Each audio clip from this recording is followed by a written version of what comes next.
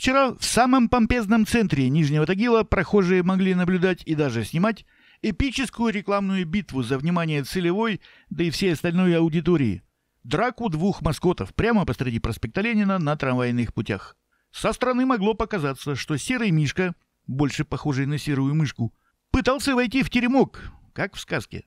А тот такому противоестественному совокуплению сопротивлялся, отправив в итоге халявщика сосать его косые лапы и строить собственную берлогу, а не покушаться на готовенькую чужую недвижимость, как какой-нибудь черный риэлтор. Видимо, такое невербальное послание вложили в это вирусное действие его креаторы. Проходило оно под пешеходный зеленый сигнал светофора посреди перекрестка проспекта Ленина с улицей Агаркова, где прямо на углу как раз-таки и базируется то самое агентство недвижимости имени подмосковного поселка долларовых миллиардеров.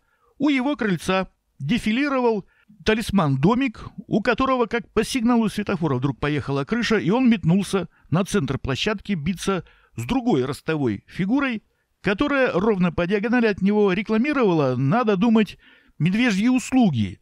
Ну, такие полулегальные, серые, как параллельный импорт. Судя по тому, как радостно подпрыгнула избушка на своих курьих ножках, и потому как поплелся в угол к своему тренеру медведь-альбинос, по итогам маскотской драки недвижимость устояла и отстояла свой рекламный землеотвод.